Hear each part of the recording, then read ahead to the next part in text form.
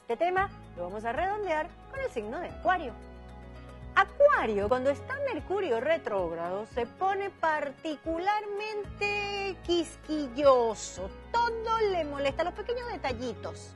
No le molestaba hasta ese día como tú eh, colgabas la ropa en el closet y ahora le molesta.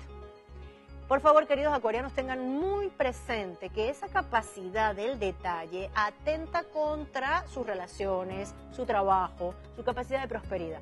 No significa que no debemos estar pendientes de los detalles, pero hay un punto también para soltar esa capacidad de que todo tiene que estar perfecto. Por allí hay un dicho que a mí no me gusta nada, pero en este momento lo vamos a aplicar con los acuarianos, de que nadie es perfecto.